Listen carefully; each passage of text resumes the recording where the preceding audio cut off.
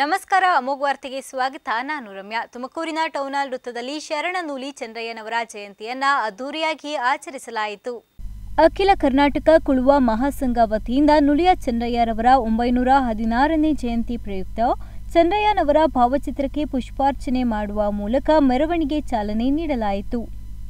Town hall ವೃತ್ತದಲ್ಲಿ ಚಂದ್ರಯ್ಯನವರ ಭಾವಚಿತ್ರವನ್ನು ಬೆಳ್ಳಿ ರಥದಲ್ಲಿ ಕೂರಿಸಿ ವಿವಿಧ ಜಾನಪದ ಕಲಾ ತಂಡಗಳೊಂದಿಗೆ ಅದ್ದೂರಿಯಿಂದ ಮೆರವಣಿಗೆ ಸಾಗಿತು.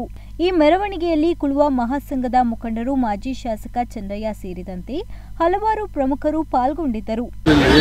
ಎಲ್ಲ ಪದಾಧಿಕಾರಿಗಳು, ಮಹಿಳಾ ಅಧ್ಯಕ್ಷರು ಮತ್ತು ಎಲ್ಲ ಪದಾಧಿಕಾರಿ ಎಲ್ಲರೂ ಇವತ್ತು ನಾವು ಸೇರಿ ಬಹಳಷ್ಟು ಜನ ಇನ್ನೂ ಬರೋರಿದ್ದಾರೆ ಕಾರ್ಯಕ್ರಮ ಯಶಸ್ವಿ ಆಗಬೇಕು ಮತ್ತು ರಾಜ್ಯದಲ್ಲಿ ಇವತ್ತು ಸಿದ್ದರಾಮಯ್ಯನವರು ಮೂವತ್ತೊಂದನೇ ತಾರೀಕು ಆಗಸ್ಟ್ ಉದ್ಘಾಟನೆ ಮಾಡಿದ್ರು ಈ ಕಾರ್ಯಕ್ರಮ. ಅವ್ರು ಮಾಡಿದಂಥ ಸಂದರ್ಭದಲ್ಲಿ ರಾಜ್ಯದ ಉದ್ದಗಲಕ್ಕೂ ಅನೇಕ ಜಿಲ್ಲೆಗಳಲ್ಲಿ ಈ ಕಾರ್ಯಕ್ರಮವನ್ನು ಭಾಳ ಯಶಸ್ವಿಯಾಗಿ ಮಾಡಿದ್ದಾರೆ. ಲಕ್ಷಾಂತರ ಜನ ಭಾಗವಹಿಸಿದ್ದಾರೆ ಇದರಲ್ಲಿ.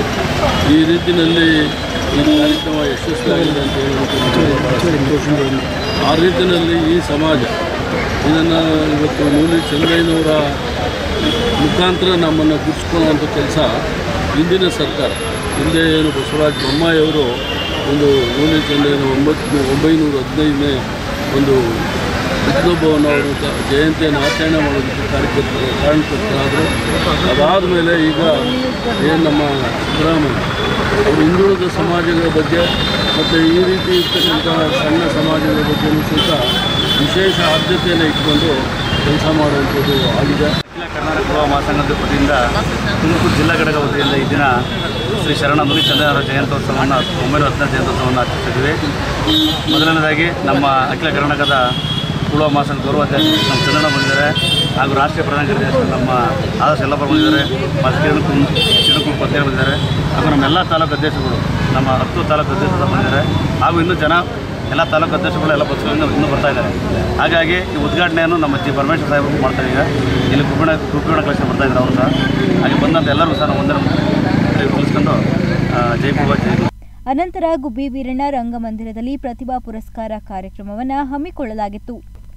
ಎನ್ಎಸ್ ಮಾರುತಿ ಪ್ರಸಾದ್ ಅಮೋಕ್ ಟಿವಿ ತುಮಕೂರು. ತುಮಕೂರು ಜಿಲ್ಲೆ ತಿಪಟೂರು ತಾಲೂಕು ಕಚೇರಿಯಲ್ಲಿ ಲಕ್ಷಾಂತರ ರೂಪಾಯಿ ಖರ್ಚು ಮಾಡಿ ಅಳವಡಿಸಿರುವ ಇ ಸೇವಾ ಮೆಷಿನ್ ಸಾರ್ವಜನಿಕರ ಉಪಯೋಗಕ್ಕೆ ಬಾರದೆ ನಿರುಪಯುಕ್ತವಾಗಿದೆ. ತಾಲೂಕು ಕಚೇರಿಗೆ ಪ್ರತಿದಿನ ಪಹಣಿ, ಖಾತೆ, ವಂಶವೃಕ್ಷ, ದೃಢೀಕರಣ ತಮ್ಮ ಜಮೀನುಗಳ ಮೂಲ ದಾಖಲೆಗಳು ಸೇರಿದಂತೆ ವಿವಿಧ ಬಗೆಯ ದಾಖಲೆ ಪತ್ರಗಳನ್ನು ಪಡೆಯಲು ಸಾವಿರಾರು ಜನ ಎಡತಾಕುತ್ತಾರೆ. ಸರ್ಕಾರ ಸಾರ್ವಜನಿಕ ಕಚೇರಿಯಿಂದ ಕಚೇರಿಗೆ ಅಲೆಯುವುದನ್ನು ತಪ್ಪಿಸಬೇಕು. ರೈತರಿಗೆ ಅಗತ್ಯವಿರುವ ದಾಖಲೆಗಳು ದೊರೆಯಲಿ ಎನ್ನುವ ಕಾರಣಕ್ಕೆ ಲಕ್ಷಾಂತರ ರೂಪಾಯಿ ಖರ್ಚು ಮಾಡಿ ಈ ಸೇವಾ ಮೆಷಿನ್ ಅಳವಡಿಸಿದೆ. ಸುಮಾರು ಎರಡು ವರ್ಷಗಳ ಹಿಂದೆ ಅಳವಡಿಸಿದ ಈ ಸೇವಾ ಮೆಷಿನ್ ಸಾರ್ವಜನಿಕರಿಗೆ ಉಪಯೋಗವೂ ಇಲ್ಲದೆ ನಿರರ್ಥಕವಾಗಿ ಬಿದ್ದಿದೆ. ಸಾರ್ವಜನಿಕರಿಗೆ ತೆರಿಗೆ, ಹಣ, ಲಕ್ಷಾಂತರ ರೂಪಾಯಿ ನೀರಿನಲ್ಲಿ ಹೋಮ ಮಾಡಿದಂತಾಗಿದ್ದು, ತಾಲೂಕು ಕಚೇರಿಯಲ್ಲಿ ಕಂಪ್ಯೂಟರ್ಗಳು ಕಾರ್ಯನಿರ್ವಹಿಸಲು ಸೂಕ್ತವಾದ ಬ್ಯಾಟರಿಗಳು ಇಲ್ಲ. ಸಿಬ್ಬಂದಿಯು ಪರದಾಡುತ್ತಾರೆ. ಮಂಜುನಾಥ್ ಹಾಲ್ಕುರಿಕೆ, ಅಮುಕ್ತಿ ಟಿವಿ ಪಾವಗಡ ಶಾಲೆಗಳ ದುರಸ್ತಿ ಕಾರ್ಯ ತಾಲೂಕಿನಾದ್ಯಂತ ತ್ವರಿತವಾಗಿ ಕೈಗೆತ್ತಿಕೊಳ್ಳಲಾಗುವುದು ಎಂದು ಶಾಸಕ ವೆಂಕಟೇಶ್ ತಿಳಿಸಿದರು. ತಾಲೂಕಿನ ಮರಿದಾಸನಹಳ್ಳಿಯಲ್ಲಿ ಏರ್ಪಡಿಸಿದ ಶಾಲಾ ಮಕ್ಕಳ ತಾಲೂಕು ಹಂತದ ಕ್ರೀಡಾಕೂಟ ಉದ್ಘಾಟಿಸಿ ಮಾತನಾಡಿದ ಅವರು, ಮರಿದಾಸನಹಳ್ಳಿ ಶಾಲೆಯ ಕೊಠಡಿಗಳು ಮಳೆ ಬಂದಾಗ ಸೋರುತ್ತಿವೆ ಎಂಬುದಾಗಿ ಗ್ರಾಮಸ್ಥರು ಅರ್ಜಿ ನೀಡಿದ್ದಾರೆ. ಈ ಸಂಬಂಧ ಕ್ಷೇತ್ರ ಶಿಕ್ಷಣಾಧಿಕಾರಿಯವರ ಬಳಿ ಮಾತನಾಡಿ, ಸಮಸ್ಯೆ ಬಗೆಹರಿಸಲು ಪ್ರಾಮಾಣಿಕ ಪ್ರಯತ್ನ ಮಾಡುತ್ತೇನೆ. ಕ್ರೀಡೆಗಳು ವಿದ್ಯಾರ್ಥಿಗಳಲ್ಲಿ ಸ್ಪರ್ಧಾತ್ಮಕ ಮನೋಭಾವನೆಯನ್ನ ಮೂಡಿಸುವಲ್ಲಿ ಸಹಾಯಕವಾಗಿವೆ. ಕ್ರೀಡಾ ಸ್ಫೂರ್ತಿಯಿಂದ ಮಕ್ಕಳು ಆಟೋಟಗಳಲ್ಲಿ ಭಾಗವಹಿಸಿ ತಮ್ಮ ಪ್ರತಿಭೆಯನ್ನ ತೋರ್ಪಡಿಸಿಕೊಳ್ಳಬೇಕು ಎಂದು ತಿಳಿಸಿದರು. ಯಾಕಂತಂದ್ರೆ ಈ ಸೋತ್ರೆ ನೆಕ್ಸ್ಟ್ ಇಯರ್ ಗೆಲ್ಬೇಕು ಅನ್ನೋ ಒಂದು ಛಲ ಇಟ್ಕೊಂಡು ನೀವೆಲ್ಲರೂ ಸಮಾನವಾಗಿ ತಗೋಬೇಕು. ಹಿಂದೆ ನಾನಷ್ಟೇ ರಾಜಕಾರಣದಲ್ಲಿ ಒಂದ್ಸಲ ಸೋತೆ, ಆದ್ರೆ ನಾನು ಬಿಡ್ಲಿಲ್ಲ, ಎಂ ಎಲ್ ಎ ಆಗ್ಲೇಬೇಕಂತ ಹಠ ಇಟ್ಕೊಂಡೆ. ರಾತ್ರಿ ಹಗಲಂದೆ ಕಷ್ಟಪಟ್ಟು ಜನರ ಸೇವೆ ಮಾಡಿ ಇವತ್ತು ಈ ಶಾಸಕನಾಗಿ ಬಂದಿದ್ದೀನಿ. ಆದ್ರೆ ನಾನು ಗೆದ್ದಿದ್ದೀನಂತ ಖುಷಿನೂ ಪಟ್ಟಿಲ್ಲ ಸೋತಿದ್ದೀನಂತ ಹತ್ಕೊಂಡು ಮನೇಲಿ ಕೊಟ್ಟಿಲ್ಲ ಎರಡು ಸಮಾರಂಭ ಜನ ಒಪ್ಪಿಲ್ಲ ನನ್ನ ನನ್ನ ಕೆಲಸ, ನನ್ನ ಮೇಲೆ ವಿಶ್ವಾಸ ಜನಗಳಿಗಿಂತ ತೋರಿಸಿದರೆ ಇದೇ ಜನಗಳ ಹತ್ರ ಪ್ರೀತಿ, ವಿಶ್ವಾಸ ಇಟ್ಕೊಂಡು ನಾನು ಗೆಲ್ಲಬೇಕು ಅಂತ ಒಂದು ಹಠ ಇಟ್ಕೊಂಡು ಇಲ್ಲಿವರೆಗೂ ಬಂದಿದ್ದೀನಿ. ಹಾಗೆ ತಾವೆಲ್ಲರೂ ಮುಂದಿನ ದಿನಗಳಲ್ಲಿ ಒಳ್ಳೆ ಭವಿಷ್ಯ ರೂಪಿಸ್ಕೋಬೇಕು, ಒಳ್ಳೆ ವಿದ್ಯಾಭ್ಯಾಸ ಮಾಡಬೇಕು. ನಿಮ್ಮ ನಿಮ್ಮ ಭವಿಷ್ಯವನ್ನು ನೀವೇ ರೂಪಿಸ್ಕೋಬೇಕಂತ ತಮ್ಮಲ್ಲಿ ಕೇಳಿಕೊಂಡು, ಮರಿದಾಸ್ನಲ್ಲಿ ಎಲ್ಲ ನಮ್ಮ ಯುವಕ ಮಿತ್ರರೆಲ್ಲ ಕೇಳ್ಕೊಂಡ್ರು, ತಾಲೂಕಿನ ಸ್ಪೋರ್ಟ್ಸ್ ಮರಿದಾಸ್ನಹಳ್ಳಿಗೆ ಕೊಡ್ಬೇಕಣ್ಣ ಅಂತ ಕೇಳ್ಕೊಂಡಾಗ ಅಲ್ಲೇ ಹೇಳಿದೆ. ಕಾರ್ಯಕ್ರಮದಲ್ಲಿ ಶಾಸಕ ವೆಂಕಟೇಶ್, ಕ್ಷೇತ್ರ ಶಿಕ್ಷಣ ಅಧಿಕಾರಿ ಅಶ್ವಥ್ ನಾರಾಯಣ್, ದೈಹಿಕ ಶಿಕ್ಷಣ ಅಧಿಕಾರಿ ಬಸವರಾಜ್ ಹಾಗೂ ಶಾಲೆಯ ದೈಹಿಕ ಶಿಕ್ಷಕರು ಬತ್ತಿನೇನಿ ನಾನಿ ಗ್ರಾಮ ಪಂಚಾಯಿತಿ ಸದಸ್ಯರು ಹಾಗೂ ಇನ್ನಿತರರು ಹಾಜರಿದ್ದರು. Srinath PG Amogh TV Pavagada. Bengaluru ಗ್ರಾಮಾಂತರ ಜಿಲ್ಲೆಯ ನೆಲಮಂಗಲ ಟೌನ್ ಪೊಲೀಸರು ಭರ್ಜರಿ ಕಾರ್ಯಾಚರಣೆ ಮಾಡಿದ್ದು ನೆಲಮಂಗಲ ಹೊರವಲಯದಲ್ಲಿ ದರೋಡೆಗೆ ಹೊಂಚು ಹಾಕುತ್ತಿದ್ದ ಗ್ಯಾಂಗ್ ಅನ್ನ ಪೊಲೀಸರು ಬಂಧಿಸಿದ್ದಾರೆ. ಪೊಲೀಸರ ಕಾರ್ಯಾಚರಣೆ ವೇಳೆ ಇಬ್ಬರು ಆರೋಪಿಗಳು ಪರಾರಿಯಾಗಿದ್ದು ಬಂಧಿತರಿಂದ ವಿವಿಧ ಪೊಲೀಸ್ ಠಾಣಾ ವ್ಯಾಪ್ತಿಯಲ್ಲಿ ಕಳ್ಳತನವಾಗಿದ್ದ ಇಪ್ಪತ್ನಾಲ್ಕು ದ್ವಿಚಕ್ರ ವಾಹನ ಹಾಗೂ ಹನ್ನೊಂದು ಮೊಬೈಲ್ ಫೋನ್ಗಳನ್ನು ವಶಕ್ಕೆ ಪಡೆಯಲಾಗಿದೆ.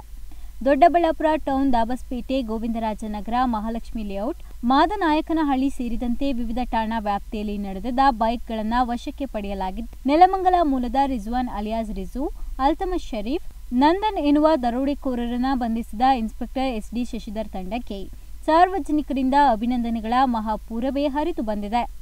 ತಗಿಕುಪ್ಪೆ ಶ್ರೀಧರ್, ಅಮೋಕ್ ಟಿವಿ, ನೆಲಮಂಗಲ. ಹನ್ನೊಂದು ಒಂಬತ್ತು ಎರಡು ಸಾವಿರದ ಇಪ್ಪತ್ತ್ಮೂರರಂದು ಬೆಂಗಳೂರು ಜಿಲ್ಲೆಯ ನೆಲಮಂಗಲ ಟೌನ್ ವ್ಯಾಪ್ತಿಯ ಅರ್ಶಿನಕುಂಟೆ ಗ್ರಾಮದ ಬಳಿ ಏಳು ಜನರು ದರೋಡೆ ಮಾಡಲು ಹೊಂಚು ಹಾಕ್ತಿದ್ದಾರೆ ಅಂತೇಳಿ ಒಂದು ಖಚಿತವಾದ ಮಾಹಿತಿಯನ್ನು ಆಧರಿಸಿ ನೆಲಮಂಗಲ ಟೌನ್ ಇನ್ಸ್ಪೆಕ್ಟರ್ ಶಶಿಧರ್ ಮತ್ತು ಅವರ ನೇತೃತ್ವದ ಕ್ರೈಮ್ ಸಿಬ್ಬಂದಿಗಳ ತಂಡ ಆ ಒಂದು ಪ್ರದೇಶಕ್ಕೆ ಹೋಗಿ ದಾಳಿ ಮಾಡಲಾಗಿ ಅದರಲ್ಲಿ ಏಳು ಜನರಲ್ಲಿ ಐದು ಜನ ಐದು ಜನರನ್ನ ನಮ್ಮ ಅಧಿಕಾರಿಗಳು ಅವರನ್ನ ಸೆಕ್ಯೂರ್ ಮಾಡುವಲ್ಲಿ ಯಶಸ್ವಿಯಾಗಿದ್ದಾರೆ. ಇಬ್ಬರು ಜನ ಅಲ್ಲಿಂದ ತಪ್ಪಿಸ್ಕೊಂಡು ಓಡಿ ಹೋಗಿದ್ದಾರೆ. ಅವರಿಗೂ ಸಹಿತ ನಾವು ಪತ್ತೆ ಹಚ್ಚಲಿಕ್ಕೆ ಕ್ರಮ ಕೈಗೊಳ್ತಾ ಇದ್ದೀವಿ. ಆ ಐದು ಆರೋಪಿತರನ್ನು ನಾವು ತಂದು ಅವರನ್ನು ವಿಚಾರಣೆ ಮಾಡಲಾಗಿ ಆ ಐದು ಆರೋಪಿತರ ಮೇಲೆ ಸಹಿತ ಹಿಂದೆ ಬೆಂಗಳೂರು ನಗರ ಮತ್ತು ಸುತ್ತಮುತ್ತಲಿನ ಠಾಣೆಗಳಲ್ಲಿ ರಾಬರಿ ಡಕಾಯಿತಿ ಮತ್ತು ಕಳತನದ ಮುಂತಾದ ಪ್ರಕರಣಗಳು ಸಹಿತ ದಾಖಲಾದ ಬಗ್ಗೆ ಮಾಹಿತಿ ಗೊತ್ತಾಯಿತು. ಹೀಗಾಗಿ ಅವರ ಮೇಲೆ ಕೂಲಂಕುಷವಾಗಿ ನಾವು ವಿಚಾರಣೆ ಮಾಡಲಾಗಿ ಇದರಲ್ಲಿ ಪ್ರಮುಖ ಆರೋಪಿಗತರು ಸಾಕಷ್ಟು ಬೈಕ್ ಕಳ್ಳತನಗಳಲ್ಲಿ ಪಾಲ್ಗೊಂಡಿರುವುದು ನಮಗೆ ಕಂಡು ಬಂತು. ಈ ಎಲ್ಲ ಆರೋಪಿತರಿಂದ ನಾವು ಒಟ್ಟು ಇಪ್ಪತ್ನಾಲ್ಕು ಬೈಕ್ಗಳನ್ನು, ಅದರಲ್ಲಿ ಭಾಳಷ್ಟು ಡಿಯೋ ಅಥವಾ ಟಿ ವಿ ಎಸ್ ಕಂಪ್ನಿಗೆ ಸೇರಿದ ಬೈಕುಗಳು ಮತ್ತು ಒಂದು ಐಷಾರಾಮಿ ಬೈಕ್ ಸಹಿತ ಸೇರಿದೆ. ಅದರ ಜೊತೆಗೆ ಅವರಿಂದ ಹನ್ನೊಂದು ವಿವಿಧ ಕಂಪನಿಯ ಮೊಬೈಲ್ಗಳನ್ನು ಸಹಿತ ನಾವು ರಿಕವರಿ ಮಾಡಿದ್ದೀವಿ. ಈ ಸಾಕಷ್ಟು ಮೊಬೈಲ್ಗಳಲ್ಲಿ ಸಹಿತ ಇವರು, ಅವನು ಸಹಿತ ರಾಬರಿ ಮಾಡಿಕೊಂಡು ಜನರಿಂದ ಕಿತ್ತುಕೊಂಡು ಬಂದಿರೋ ಬಗ್ಗೆ ಒಂದು ಮಾಹಿತಿ ಗೊತ್ತಾಗಿದೆ. ಆ ತನಿಖೆಯಲ್ಲಿ ಇನ್ನಷ್ಟು ಹೆಚ್ಚಿನ ರೀತಿಯಲ್ಲಿ ನಾವು ತನಿಖೆಯನ್ನು ಮಾಡಿ ಆ ರಾಬರಿ ಪ್ರಕರಣಗಳನ್ನು ನಾವು ಪತ್ತೆ ಹಚ್ಚಲಿಕ್ಕೆ ಒಂದು ಉಪಯೋಗಕಾರಿ ಆಗ್ತದೆ. ಕೊರಟಗೆರೆ ತಾಲೂಕಿನ ಜಯಮಂಗಲಿ ನದಿಯ ತೀತ ಜಲಾಶಯದ ಒಡಲಿಗೆ ಕನ್ನ ಹಾಕಲು ಯತ್ನಿಸುತ್ತಿದ್ದ ಅಕ್ರಮ ಮರಳು ಗಣಿಗಾರಿಕೆ ಅಡ್ಡೆಯ ಮೇಲೆ ತಹಶೀಲ್ದಾರ್ ಮುನಿಶಾಮರೆಡ್ಡಿ ನೇತೃತ್ವದ ಕಂದಾಯ ಅಧಿಕಾರಿಗಳ ತಂಡ ದಿಢೀರ್ ದಾಳಿ ನಡೆಸಿ ಟ್ರ್ಯಾಕ್ಟರ್ ಮತ್ತು ದ್ವಿಚಕ್ರ ವಾಹನ ವಶಕ್ಕೆ ಪಡೆದಿರುವ ಘಟನೆ ಗುರುವಾರ ತಡರಾತ್ರಿ ನಡೆದಿದೆ.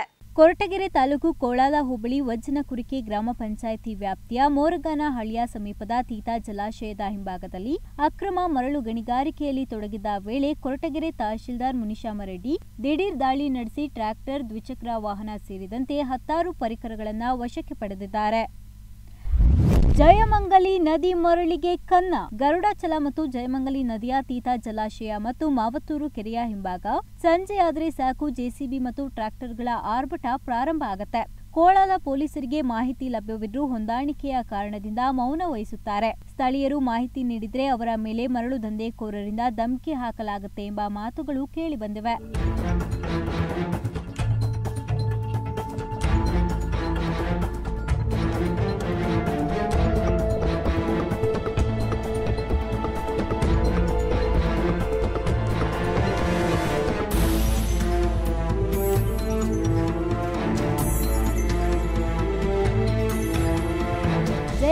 ನದಿಯಲ್ಲಿ ಅಕ್ರಮವಾಗಿ ಮರಳು ತುಂಬುತ್ತಿದ್ದ ಟ್ರ್ಯಾಕ್ಟರ್ ಮತ್ತು ದ್ವಿಚಕ್ರ ವಾಹನವನ್ನ ಕೊರಟಗೆರೆ ತಹಶೀಲ್ದಾರ್ ಕೋಳಾಲ ಪಿಎಸ್ಐ ರೇಣುಕಾಗೆ ತಡರಾತ್ರಿಯೇ ಹಸ್ತಾಂತರ ಮಾಡಿ ಪ್ರಕರಣ ದಾಖಲಿಸಲು ಸೂಚನೆ ನೀಡಿದ್ದಾರೆ. ಕೋಳಾಲ ಪೊಲೀಸ್ ಠಾಣೆಯಲ್ಲಿ ಪ್ರಕರಣ ದಾಖಲಾಗಿದೆ. ಎನ್ಮೂರ್ತಿ ಅಮೋಕ್ ಟಿವಿ, ಕೊರಟಗೆರೆ. ಕೋಲಾರ ಜಿಲ್ಲೆ ಶ್ರೀನಿವಾಸಪುರ ತಾಲೂಕಿನ ನಂಬಿಹಳ್ಳಿ ಗ್ರಾಮದಲ್ಲಿ ನಾಗೇಶ್ ಎಂಬುವನು ತಮ್ಮ ಪತ್ನಿಯಾದ ರಾಧಾಳನ್ನ ಬರ್ಬರವಾಗಿ ಕೊಲೆ ಮಾಡಿದ ಪ್ರಕರಣಕ್ಕೆ ಸಂಬಂಧಿಸಿದಂತೆ. ಘಟನೆ ವೇಳೆ ಪೊಲೀಸರನ್ನ ತಡೆದು ಗೊಂದಲ ಸೃಷ್ಟಿಸಿದ ಗ್ರಾಮಸ್ಥರ ಮೇಲೆ ಎಫ್ಐಆರ್ ದಾಖಲಾಗಿದ್ದು, ಕೆಲವು ಗ್ರಾಮಸ್ಥರು ಊರು ಬಿಟ್ಟಿದ್ದಾರೆ. ಕಳೆದ ಮೂರು ದಿನದ ಹಿಂದೆ ಕೋಲಾರ ಜಿಲ್ಲೆ ಶ್ರೀನಿವಾಸಪುರ ತಾಲೂಕಿನ ನಂಬಿಹಳ್ಳಿ ಗ್ರಾಮದಲ್ಲಿ ನಾಗೇಶ್ ಎಂಬುವನು ತಮ್ಮ ಪತ್ನಿಯಾದ ರಾಧಾಳನ್ನ ಬರ್ಬರವಾಗಿ ಕೊಲೆ ಮಾಡಲಾಗಿದ್ದು, ಕೊಲೆ ಮಾಡಿ ಆರೋಪಿ ಪರಾರಿಯಾಗಲು ಯತ್ನಿಸಿದಾಗ, ಅದೇ ಗ್ರಾಮದ ಜನರು ಆರೋಪಿ ನಾಗೇಶ್ನನ್ನ ಹಿಡಿಯಲು ಹೋದಾಗ ಆರೋಪಿ ಒಂದು ಹೋಟೆಲ್ನಲ್ಲಿ ಅವಿತುಕೊಂಡಿದ್ದ. ಈ ಸಂದರ್ಭದಲ್ಲಿ ಊರಿನ ಕೆಲ ಗ್ರಾಮಸ್ಥರು ಒಟ್ಟಿಗೆ ಸೇರಿ ಅವಿತುಕೊಂಡಿದ್ದ ಹೋಟೆಲ್ ಮೇಲೆ ದಾಳಿ ನಡೆಸಲಾಗಿತ್ತು. ಈ ಸಂದರ್ಭದಲ್ಲಿ ಮಧ್ಯ ಪ್ರವೇಶಿಸಿದ ಪೊಲೀಸರು ಆರೋಪಿಯನ್ನ ನಮಗೆ ಒಪ್ಪಿಸಿಬಿಡಿ ಎಂದು ಊರಿನ ಕೆಲ ಗ್ರಾಮಸ್ಥರು ಹಾಗೂ ಪೊಲೀಸರ ಹತ್ತಿರ ಮಾತಿನ ಚಕಮಕಿ ನಡೆಯಿತು.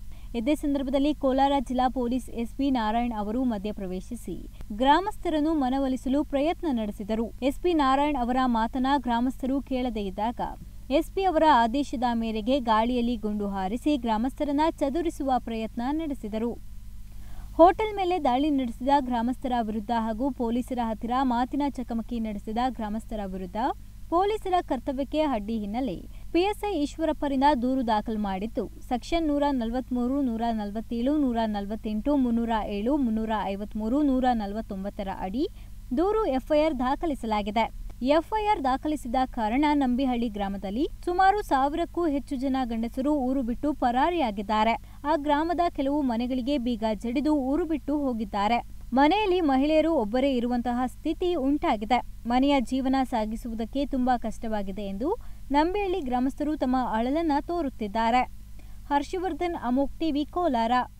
ಕೊಬ್ಬರಿ ದರ ದಿನದಿಂದ ದಿನಕ್ಕೆ ಕುಸಿತ ಕಾಣುತ್ತಿದ್ದು ರೈತರು ಸಂಕಷ್ಟದಲ್ಲಿದ್ದಾರೆ. ಕೇಂದ್ರ ಸರ್ಕಾರ ಸಬ್ಸಿಡಿಯನ್ನ ಹೆಚ್ಚಿಸಬೇಕಾಗಿದೆ ಎಂದು ಗುಬ್ಬಿಯಲ್ಲಿ ಶಾಸಕ ಎಸ್ಆರ್ ಶ್ರೀನಿವಾಸ್ ತಿಳಿಸಿದರು. ಪಟ್ಟಣದ ಎಂಎಚ್ ಪಟ್ಟಣ ಪ್ರಾಥಮಿಕ ಪತ್ತಿನ ಸಹಕಾರ ಸಂಘದ ವಾರ್ಷಿಕ ಮಹಾಸಭೆಯಲ್ಲಿ ಮಾತನಾಡಿದ ಅವರು ರಾಜ್ಯ ಸರ್ಕಾರ ಒಂದೂವರೆ ಸಾವಿರ ನಫೆಡ್ ಮೂಲಕ ನೀಡಿದರೂ ಸಹ ಅದು ರೈತರಿಗೆ ನೀಡುವ ದರ ಕಮ್ಮಿ ಆಗ್ತದೆ. ಇದರ ಬಗ್ಗೆ ಮುಖ್ಯಮಂತ್ರಿಗಳ ಜೊತೆ ಇಡೀ ಜಿಲ್ಲೆಯ ಶಾಸಕರು ಮತ್ತೊಮ್ಮೆ ಮಾತನಾಡುತ್ತೇವೆ. ಅದಕ್ಕಿಂತ ಹೆಚ್ಚಾಗಿ ಕೇಂದ್ರ ಸರ್ಕಾರ ಇದರ ಬಗ್ಗೆ ಹೆಚ್ಚು ಗಮನ ಹರಿಸಬೇಕಾಗಿದೆ. ರೈತರಿಗೆ ಕಡಿಮೆ ಸಾಲವನ್ನ ವ್ಯವಸಾಯ ಸೇವಾ ಸಹಕಾರದಿಂದ ನೀಡಲಾಗ್ತಿದ್ದು ನಮ್ಮ ಸರ್ಕಾರ ಅಧಿಕಾರಕ್ಕೆ ಬಂದ ಮೇಲೆ ಸಾಲ ನೀಡುವುದನ್ನು ಹೆಚ್ಚಿಸಿದ್ದೇವೆ. ಒಂದರಿಂದ ಐದು ಕೋಟಿಯವರೆಗೂ ರೈತರಿಗೆ ಸಾಲ ವಿತರಣೆ ಮಾಡಲಾಗ್ತಿದೆ. ಇನ್ನು ರೈತರಿಗೆ ಅನುಕೂಲವಾಗಬೇಕು ಎಂಬ ನಿಟ್ಟಿನಲ್ಲಿ ಯೋಜನೆಗಳನ್ನು ಸಹ ಮಾಡಿತು ರೈತರಿಗೆ ಅನುಕೂಲವಾಗುವಂತಹ ಯೋಜನೆಗಳಿಗೆ ನಮ್ಮ ಸಹಕಾರ ಸಚಿವರು ಸಿದ್ಧರಾಗಿದ್ದಾರೆ ಎಂದು ತಿಳಿಸಿದರು. ನಮ್ಮಲ್ಲೂ ಕೊಡ್ತಾ ಇದ್ದಾರೆ. ನಮ್ಮಲ್ಲೆಲ್ಲ ಅಡ್ವಾನ್ಸ್ ಮೊದಲು ಬರೀ ಹತ್ತು ಲಕ್ಷ, ಐದು ಲಕ್ಷ, ಇಪ್ಪತ್ತು ಲಕ್ಷ ಇತ್ತು. ಈಗ ಒಂದೊಂದು ಬಿ ಎಸ್ ಎನ್ಗೆ ಮೂರು ಕೋಟಿ, ನಾಲ್ಕು ಕೋಟಿ, ಐದು ಕೋಟಿ ತನಕ ಕೊಡ್ತಾ ಇದ್ದಾರೆ. ನಮ್ಮದೇ ಉದಾಹರಣೆಗೆ ನಮ್ಮದೇ ವಿ ಎಸ್ ಎನ್ ಹಿಂದೆ ಸರಿಯಾಗಿ ನಿರ್ವಹಣೆ ಮಾಡಿದ್ರೆ ಲಾಸ್ ಆಗಿತ್ತು. ಅದನ್ನು ಈಗ ನಮಗೆ ಸುಮಾರು ಮೂರ್ನಾಲ್ಕು ಕೋಟಿವರೆಗೂ ಸಾಲ ಕೊಟ್ಟಿದ್ದಾರೆ. ಯಾರು ರೈತರು ಕೇಳ್ತಾರೋ ಈಗ ಹತ್ತು ಲಕ್ಷ ರೂಪಾಯಿ ಸಾಲ ಕೂಡ ಕೊಡ್ತಾ ಇದ್ದಾರೆ. ಅದನ್ನು ನಾನೇ ಈ ಕಳೆದ ಒಂದು ಏಳೆಂಟು ತಿಂಗಳಿಂದ ಇಲ್ಲಿವರೆಗೂ ಸುಮಾರು ಒಂದು ನಲವತ್ತೈವತ್ತು ಜನಕ್ಕೆ ಕೊಡಿಸಿದ್ದೀನಿ. ಈಗ ನಾನು ಕೊಟ್ಟಿರ್ತಕ್ಕಂಥವೇ ಸುಮಾರು ಅವ್ರ ಬ್ಯಾಂಕಲ್ಲಿ ಇನ್ನೂ ಒಂದು ಮೂವತ್ತು ನಲವತ್ತು ಜನದ್ದು ಪೆಂಡಿಂಗ್ ಅವೆ. ಕೊಡ್ತಾ ಇದ್ದಾರೆ ಕೊಡು ಕೊಡಿಸ್ತಾ ಇದ್ದೀನಿ. ಇಲ್ಲಿ ಮಾರ್ಕೆಟ್ ಮಾಡ್ತೀವಿ ಅಂತಂದರೆ ಅಷ್ಟೇ. ಇಲ್ಲೇನು ಮಾಡೋಕ್ಕಾಗಲ್ಲ. ಇದನ್ನೇ ನಾವು ನೇರವಾಗಿ ಅಡಿಕೆ ಮಂಡಿನೋ ಅಥವಾ ತೆಂಗು ಕೊಬ್ಬರಿಗೆ? ಸಾಲ ಸವಲತ್ತುಗಳನ್ನ ಕೊಡ್ತಕ್ಕಂಥದ್ದು ನಾವು ಮಾಡ್ತಾ ಇದ್ದೀವಿ. ಸಣ್ಣ ಪುಟ್ಟ ರೈತರಿಗೆ. ಇಲ್ಲಿ ಯಾರು ಆ ಥರ ದೊಡ್ಡದಾಗಿ ಸಾಲ ತಗೊಳ್ತಕ್ಕಂಥ ರೈತರಿಗೆ ಕಡಿಮೆ. ಸಣ್ಣ ಪುಟ್ಟ ಸಾಲ ತಗೊಂಡು ಹೋಗಿ ತೀರಿಸ್ತಕ್ಕಂಥದ್ದು ಮಾಡ್ತಿದ್ವಿ ನಫೆಡ್ ನಿಂತೋಯ್ತು ಕೊಬ್ಬರಿ ಬೆಲೆ. ಇದೇ ಸಂದರ್ಭದಲ್ಲಿ ಉಪಾಧ್ಯಕ್ಷ ಎಂಎನ್ ನರಸಿಂಹಯ್ಯ ನಿರ್ದೇಶಕರಾದ ಎಂಜಿ ದೇವರಾಜು ಅಶೋಕ್ ಕುಮಾರ್ ಗಂಗರಾಜು ಸೋಮಶೇಖರಯ್ಯ ಹಾಗೂ ಇತರರು ಹಾಜರಿದ್ದರು. ಪ್ರಸನ್ನ ದುಡ್ಗುಣಿ, ಅಮೋಕ್ ಟಿವಿ, ಗುಬ್ಬಿ.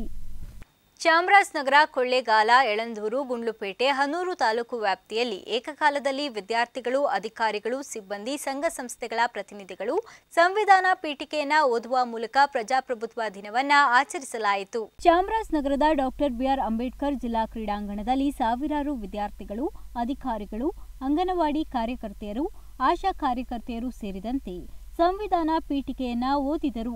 ಇದಕ್ಕೂ ಮುನ್ನ ನಗರದ ಜಿಲ್ಲಾಡಳಿತ ಭವನದ ಮುಂಭಾಗದಲ್ಲಿರುವ ಡಾಕ್ಟರ್ ಬಿಆರ್ ಅಂಬೇಡ್ಕರ್ ಪ್ರತಿಮೆ ಬಳಿಯಿಂದ ಸಾವಿರಾರು ವಿದ್ಯಾರ್ಥಿಗಳು, ಅಧಿಕಾರಿಗಳೊಂದಿಗೆ ಡಾಕ್ಟರ್ ಬಿಆರ್ ಅಂಬೇಡ್ಕರ್ ಅವರ ಭಾವಚಿತ್ರ ಹಾಗೂ ಸಂವಿಧಾನ ಪೀಠಿಕೆ ಮಾದರಿಯನ್ನ ಒಳಗೊಂಡ ರಥದ ಜಾಥಾ ನಡೆಯಿತು. ಕಾರ್ಯಕ್ರಮದಲ್ಲಿ ಏಕಕಾಲದಲ್ಲಿ ಸಂವಿಧಾನ ಪೀಠಿಕೆಯನ್ನ ಓದಲಾಯಿತು. ಬೆಂಗಳೂರಿನಲ್ಲಿ ನಡೆದ ರಾಜ್ಯ ಮಟ್ಟದ ಸಂವಿಧಾನ ಪೀಠಿಕೆ ಓದುವ ಕಾರ್ಯಕ್ರಮವನ್ನು ಲೈವ್ ಸ್ಟ್ರೀಮಿಂಗ್ ಮೂಲಕ ಪ್ರಸಾರವಾಯಿತು. ಇನ್ನು ಈ ಸಂದರ್ಭದಲ್ಲಿ ಶಾಸಕ ಸಿ ಪುಟ್ಟರಂಗ ಶೆಟ್ಟಿ, ಜಿಲ್ಲಾಧಿಕಾರಿ ಸಿಟಿ ಶಿಲ್ಪನಾಗ್, ಜಿಲ್ಲಾ ಪಂಚಾಯಿತಿ ಸಿಇಒ ಆನಂದ್ ಪ್ರಕಾಶ್ ಸೇರಿದಂತೆ ಇತರರು ಹಾಜರಿದ್ದರು. ಶಿವಕುಮಾರ್ ಅಮೋಕ್ ಟಿವಿ ಚಾಮರಾಜನಗರ. ಇದಿಷ್ಟು ಈವರೆಗಿನ ಪ್ರಮುಖ ಸುದ್ದಿಗಳು ಮತ್ತಷ್ಟು ಸುದ್ದಿಗಾಗಿ ನೋಡ್ತಾ ಇರಿ ಅಮೋಕ್ ಟಿವಿ ಎಂದೆಂದಿಗೂ ನಿಮ್ಮೊಂದಿಗೆ.